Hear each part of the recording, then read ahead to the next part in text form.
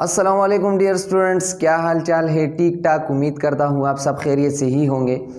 Liquid chapter में, इससे पहले वीडियो में हमने इवापोरेशन को डिस्कस किया। इवापोरेशन और वेपराइजेशन में अक्सर स्टूडेंट्स की वो कन्फ्यूज़न रहती है कि इनके दरमियान डिफरेंस क्या चीज़ है और दोनों में सिमिलरिटीज़ क्या है। तो आज की वीडियो में हम आपके वो कन्फ्यूज़न क्लियर करेंगे, जिसमें हम डिस्कस करेंगे इवापोरेशन और वेपराइजेशन के दरमियान जो डिफरेंसेस है और सिमिलरिटीज़ है, उसको डिस्कस करेंगे। तो चलिए स्टार्ट करते हैं। My name is Mohammad Dawood and the channel is chemistry chemistry ring let's start the topic evaporation is a surface phenomena and it is a process in which a liquid changes to vapors at a temperature below its boiling point. मतलब ये कि for example हमारे पास कोई container है या कोई भी चीज़ है जिसमें लिक्विड है तो अभी ये लिक्विड जो है इससे वेपर्स वो वेपर्स में कन्वर्ट होता है।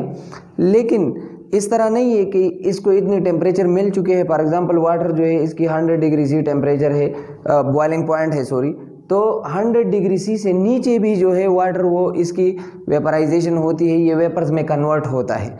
तो इस पिनामिना को जिसमें बॉइलिंग पॉइंट से नीचे कोई भी लिक्विड वो वेपर्स में कन्वर्ट होता है, इसको हम बोलते हैं स्पॉन्टेनियसली उसको हम बोलते हैं इवापोरेशन जबकि वेपराइजेशन जो प्रोसेस है, ये इस तरह का प्रोसेस है जिसमें कोई लिक्विड जो है, वो चेंज होता है वेपर्स में.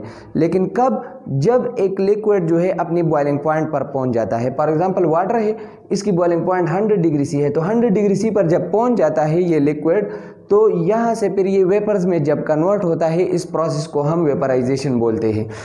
दूसरी जो डिफरेंस है इवापोरेशन और वेपराइजेशन में वो ये है कि evaporation takes place at all temperature किसी भी टेम्परेचर पर इवापोरेशन होती है। किसी भी टेम्परेचर पर लिक्विड जो है, उससे वो वेपर्स में जब वो कन्वर्ट होती है, उसको हम इवापोरेशन बोलते हैं। और जब यही टेम्परेचर बॉयलिंग पॉइंट जो है बॉइलिंग पॉइंट पर पहुँच जाता है। फॉर एग्जांपल वाटर के लिए 100 डिग्री सी है तो 100 डिग्री सी पर इसकी अगर वेपर्स में कन्वर्जन होती है तो इसको फिर हम बोलेंगे कि ये क्या है? ये वेपराइजेशन है। तो इवापोरेशन में टेम्परेचर जो है, वो चेंज भी हो सकती है ड्यूरिंग द इवापोरेशन कभी गर्मी ज़्यादा, कभी कम, लेकिन इवापोरेशन वो होती रहेगी। अगरचे टेम्परेचर इंक्रीज़ करने से इवापोरेशन वो ज़्यादा हो जाती है टेम्परेचर डिक्रीज़ करने से कम हो जाती है। लेकिन टेम्परेचर में भी चेंज और जो वेपराइजेशन है चूँकि बॉइलिंग पॉइंट पर एक पार्टिकुलर टेम्परेचर पर इसमें जो है वो आ, इसकी कन्वर्जन होती है वेपर्स में। तो उस टाइम जब बॉइलिंग पॉइंट अचीव हो जाता है तो बॉयलिंग पॉइंट के बाद टेम्परेचर फिर चेंज नहीं होता।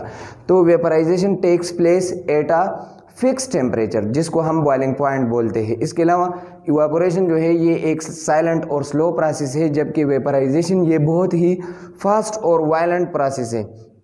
इसके अलावा पिछली वीडियो में हमने डिस्कस किया था कि rate of evaporation depends upon surface area wind speed temperature relative humidity intermolecular forces तो अगर वो वीडियो आपने नहीं दी, देखी तो ये चीज़ें हमने डिटेल से डिस्कस की है। जबकि वेपराइजेशन जो है, इन सब फैक्टर्स पर वो डिपेंड नहीं करती। इवापोरेशन वो सरफेस पेनामिना है सरफेस पर होती है।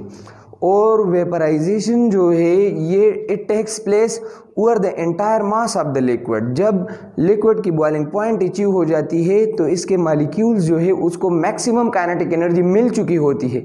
उसके बाद आप टेम्परेचर को इंक्रीज करोगे टेम्परेचर इंक्रीज नहीं होगी तो सब के सब जो है वो वेपर्स में कन्वर्ट हो जाएँगे। सो so, यही कुछ डिफरेंसेस थी। इवापोरेशन और वेपराइजेशन में सिमिलैरिटीज़ भी है। सिमिलैरिटीज़ यही है कि इवापोरेशन में भी लिक्विड वो गैसीय स्पेस में जाता है और वेपराइजेशन में भी वो गैसीय स्पेस में जाता है। I hope you understand all these things so thank you very much for today till next video अल्लाह हाफिज़